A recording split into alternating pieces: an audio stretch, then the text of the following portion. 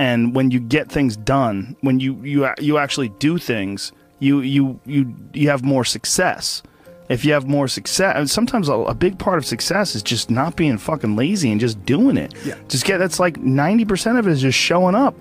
Get there and start working. Like you're not gonna feel perfect every day. If I felt, if I only worked out when I felt good, I'd be a fat fuck.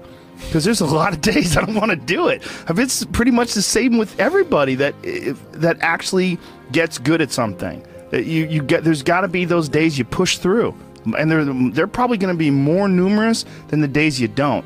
And so the benefit of discipline in my eyes has always been that through discipline I get things done. I always tell my I always say that I'm like